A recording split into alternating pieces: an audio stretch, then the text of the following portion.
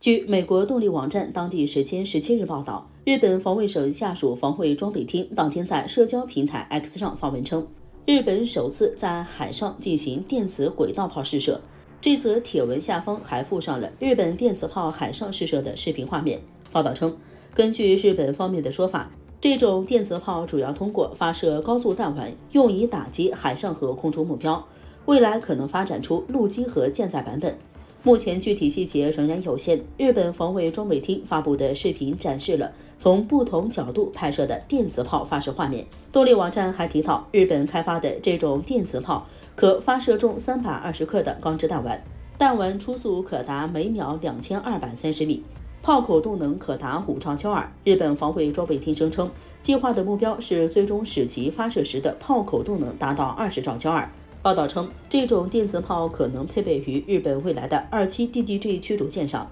二七 DDG 是日本现役摩耶级的下一代型号。报道还炒作称，日本正面临中国和朝鲜导弹能力的挑战。中国的反舰导弹型号比任何国家都更为多样化。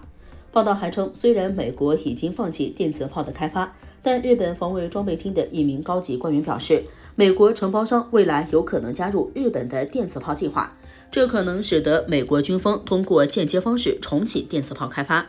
此前，日本政府通过2023年版防卫白皮书，将中国定位为日本前所未有的最大战略挑战，称中方大幅增加国防费，加快军力发展。在东海、南海单方面改变现状，中俄在是周边海空域开展联合行动，并称中国大陆军事活动威胁台海和平稳定。中国国防部新闻发言人谭克飞对此回应称，中国军队始终是维护世界和平稳定的坚定力量，从未挑战谁，更没有威胁谁，反而是世方近年来不断突破和平宪法约束和遵守防卫原则，大幅增加防卫开支，鼓吹发展所谓反击能力。在军事扩张的道路上越走越远，追随个别大国搞有针对性的小圈子，给地区和世界和平、安全与稳定带来严重挑战。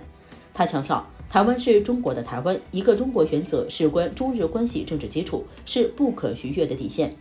日方在台湾问题上对中国人民负有严重历史罪责，近年来不但不反躬自省，反而不断干涉中国内政，违反国际关系基本准则。违背中日四个政治文件精神，破坏中日关系政治基础，加剧台海地区局势紧张，这是极其错误和危险的。